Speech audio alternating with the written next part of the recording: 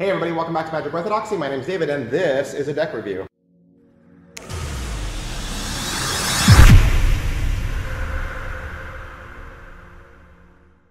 Hey, today we're to look at the Arrco Tahoe backs. Uh, Arrco, uh, it was once a long time ago the one of the preferred decks of cards used by professional magicians. Uh, Arrco has since been taken over by the United States Playing Card Company, and they release all of their decks through them. Of course, this is the Tahoe back. So sometimes you could have an Arrco deck and the back would look different or the tuck case would look different. And it's available in both an antique red and a dark blue. Now, Dan and Dave, they're the ones that resurrected this uh, design. And if you'd like to purchase your own, you can find it at dananddave.com. They are, as you can see, a limited number uh, of 2,500 sets in each color.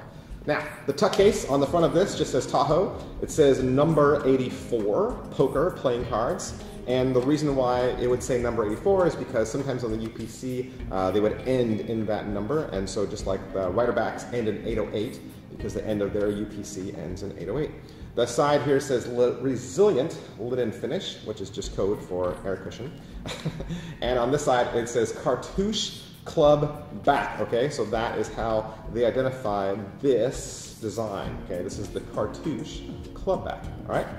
The top probably said Tahoe there underneath this uh, original tuck seal. And then the bottom has some ad copy about the United States Playing Card Company. That is pretty much it for the tuck case. Let's take a look at these cards. So as I said, these were printed by the United States Playing Card Company and they are done on their infamous retail stock. Retail stock is thinner, thinner than B stock, thinner than casino stock, so it's much more uh, flexible they also have a modern cut and air cushion finish. And if you'd like to learn more about stock cut or finish, you can click the link below in the description. So here's a close-up look at the Cartouche Club back, the Tahoe cards. As you can see, it's very feathery, very uh, organic shapes, lots of circles and kind of curved edges. It's not as hard or cut uh, as some other more crisp looking decks. This is more of an organic feel, um, but still very pretty. Um, this used to be a connoisseur's vintage playing card set, and uh, Dan and Dave are releasing this as a facsimile. So uh, you could actually go back and find vintage playing cards that looked exactly like this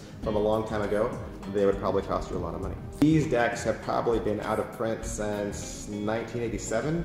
Uh, probably when the United States Playing Card Company bought the Chicago printing press that used to make uh, the Tahoe cards, and so they've kind of been out of uh, print, out of run ever since then. With this deck, you're to get two gaffs. You're to get a double backer that is both the uh, dark blue on both sides, and you're to get a double backer that is dark blue on one side and antique red on the other. Pretty cool if you want to do a color changing deck routine. Also with this deck, you're to get two full-size Arrco Jokers. Uh, it's just the Jester, and the Jester's cap and costume, and it says plastic coated across the top of his hat. This is your Tahoe Ace of Spades. It's a big fat um, pip there in the center that says Tahoe, United States Playing Card Company, and made in the USA. All your pips and indice cards should be recognizable and completely standard. Uh, you're not going to see any surprises as far as color or pip uh, placement. Your court cards are going to have more of that vintage look because we're trying to do a throwback to a deck of cards that was printed a long time ago. Uh, they use more of the classic faces and classic colors.